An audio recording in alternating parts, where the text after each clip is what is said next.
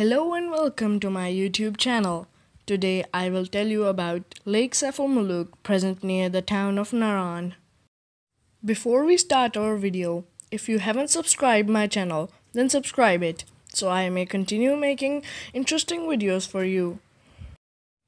Lake Saiful is a mountainous lake which is surrounded by majestic mountains, in which one mountain is called Malka Parbat Mountain. This lake is present in the north of Kagan Valley and is just 8 km apart from Naran. This lake is famous in other countries as well due to its enchanting beauty. Every year, a big amount of tourists visit this place. The altitude of this lake is 3224 meter above sea level. This lake is one of Pakistan's highest lakes. The depth of this lake is 15 meter or 49 feet while its length is 1430 feet and its width is 440 feet. The total area of this amazing lake is 2.7 kilometers square.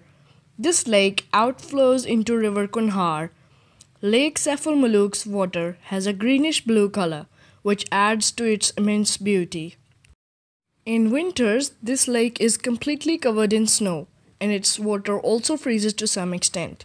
A mythical story is famous about this lake, which is about a prince of Egypt named Saiful Muluk, and the name of this lake is also named after that prince.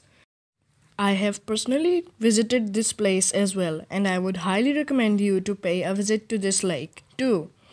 If you found my video interesting, then please like it. That's it for now. Thanks for watching.